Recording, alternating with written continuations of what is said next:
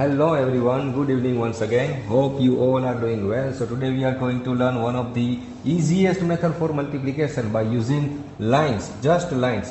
So let's take an example. First example, multiply 13 with 21. So 13 cross 21, what's the answer? We can do it by using just drawing the lines. So first digit here is 1, second is 3, third one is 2 and fourth one is 1. So you just simply draw line. Here it is first digit is 1. So let's draw first. Here it is line number 1. Second number is 3. So draw 3 lines. 1, 2 and 3. Got it? 1, 3. Now next digit is 2. So draw 2 lines. 1 and 2. Now draw only one line, fourth digit is 1. So now let's calculate the number of crossing, that's it. So we divide this into three equal zones. For this is first zone, zone number 1, zone number 2 and zone number 3. Just count the number of crossing. Let's start here 1, 2 and 3. So this is 3 Zone 2 1, 2, 3, 4, 5, 6 and 7. So 7 and here it is 2. So this is the answer 2, 7, 3. You can calculate by using calculator. That's it. I know you guys will love this method. This is the easiest method I have ever learned. Okay, so let's take another example. So suppose we are taking th uh, 32 cross 12. So what's the multiplication? 32 cross 12. Okay, so first digit is 3. Your first digit is 3. So first of all draw 3 lines. Okay. So we will draw 3 lines 1, 2 and 3. Second digit is 2. So after giving some space, draw two lines. Third digit is 1, so just draw one line. And another digit is 2, so draw two lines. Again dividing in three equal zones. This is zone number 1, this is zone number 2, and this is zone number 3. So let's start again 1, 2, 3, 4. Number of crossings are 4, so last digit is 4. Here number of crossings are 1, 2, 3, 4, 5, 6, 7 and 8. And here it is 1, 2, 3. So answer is 3, 8, 4. That's it.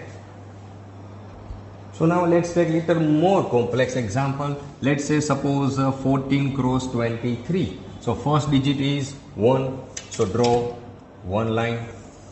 Second digit is 4, so after giving some space, 1, 2, 3 and 4. Okay, third digit is 2, so draw two lines, 1 and 2. And last digit is 3, so draw 1, 2 and 3. Again dividing in 3 equal zones. Let's start from here 1, 2, 3, 4, 5, 6, 7, 8, 9, 10, 11 and 12. So this time these numbers are greater than 10.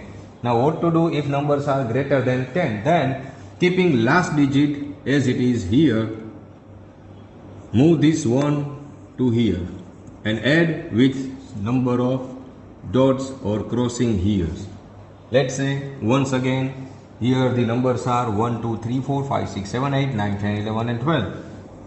So if the number is greater than 9 then keeping last digit here move this first digit here and add with this zone.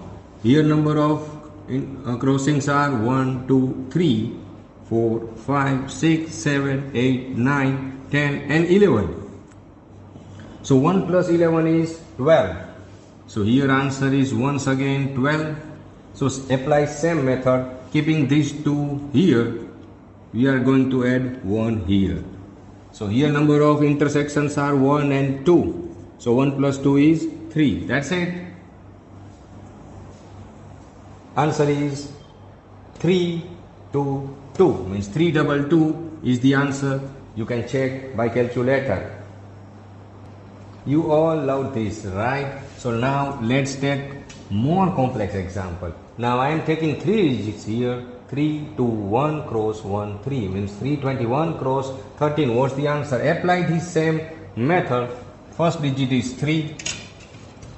So draw number of lines, 3 number of lines, 1, 2 and 3. Second digit is 2. So after giving some space, draw two lines and the last digit is 1. That's it. So 3 to 1 I have drawn 3 to 1 lines. Now next one is 13 means the first digit is 1. So draw one line and next digit is 3. So 1, 2 and 3 lines. So now we have to divide this into four equal zones. Four this time. Zone number one, this is zone number two, this is zone number three, and zone number four. That's it. Apply the same method. One, two, three. So it is three, one, two, three, four, five, six, and seven. So seven. But here, one, two, three, four, five, six, seven, eight, nine. 10 and 11 so as I said previous one number is greater than 9 so it is 11 now what we have to do? Number of intersections are 11 then keeping the last digit here last digit 1 here and move this number 1 to here and add with these crossings. You see here 1 2 3 so 1 plus 3 is 4. The answer is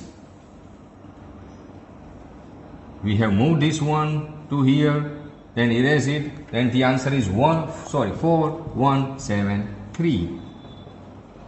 That's it. This is the easiest method for multiplication. So I hope you all love this method and this method is very useful to everyone for entrance exam in which students are not allowed to use uh, simple calculator as well. Okay thank you